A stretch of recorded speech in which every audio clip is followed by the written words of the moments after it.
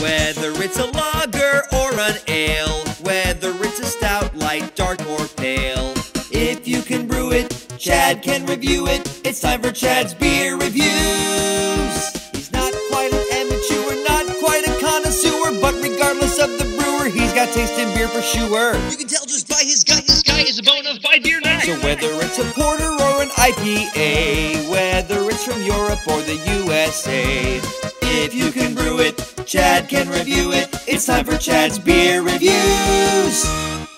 Welcome to a special episode of Chad's Beer Reviews. On my porch, uh, I've been meaning to shoot a video out here for a while, but uh, this street is busy, so you're probably going to hear a lot of street traffic. Um, and before we start, I just wanted to give a special shout out to Jeremy and Jason, because I know Jeremy lives in Bethlehem, PA, and as you can see, I live in Bethlehem, New York. Well, we got an appropriate beer today, sort of. Even though it's only April, it's about 80 something degrees out. I'm wearing, I got shorts on. I don't know if you can see that or not. Um, and I feel like a nice, cold, refreshing beer. So we're drinking Saranac Summer Ale. Had this last summer, wasn't really impressed with it, so we'll see what I think this summer. Doesn't really say much about it on the bottle or the website.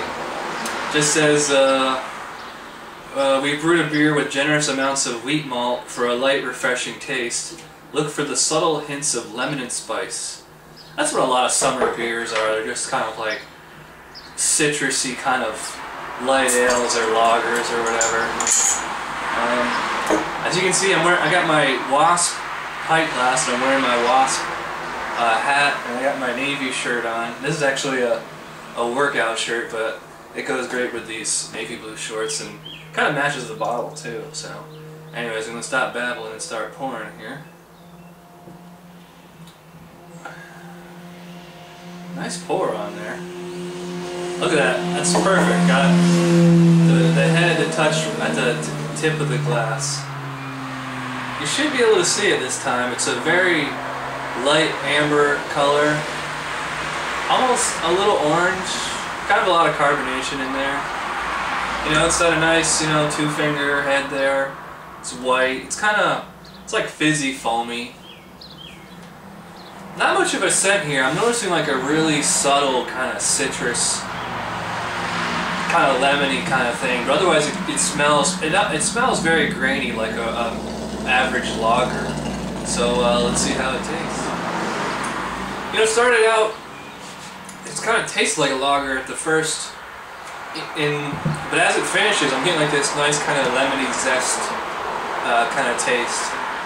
It's getting more intense the more I drink.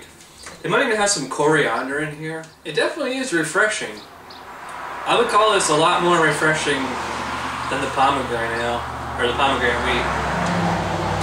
This is you know this is the ideal conditions to drink this kind of beer it's hot out you just want something refreshing uh, that you don't really have to think about. It's not going to weigh you down. This beer is only 4.7% ABV, so it's you know a pretty light beer. It's got a fantastic mouthfeel. It's just like so soft and gentle. It's it's like a it's but I wouldn't call it like a watery kind of thin body. It seems to have like a real kind of thickness to the beer. It reminds me of like a Magic Hat kind of beer. Magic Hat beers are like that. So really, really, the drinkability is is outstanding here. Yeah, I like it. It's uh, it's got a nice citrusy finish. Um, you know, but it's it, it doesn't really taste that gimmicky either. Um, but I mean, there's really not a lot to it. It's mostly you're just kind of getting like a run-of-the-mill ale with like a like a citrus kind of lemony uh, finish to it. So, but I mean, that's what it's supposed to be. Just a nice, easy drinking beer for picnics, barbecues, hot summer days, whatever. So, I don't even have to drink another. I still have another bottle in the fridge, but I don't even have to drink it because I, I already know what I'm going to give this. Yeah, I like it. I mean, it's not a super great beer, but there's really, it's not bad at all. So, if you're looking for a nice, easy summer beer to drink, uh, Saranac Summer Ale is it. I'm gonna give this a six out of ten. It's a good beer. Thanks for watching, and uh, maybe we'll do some more porch reviews. Bye.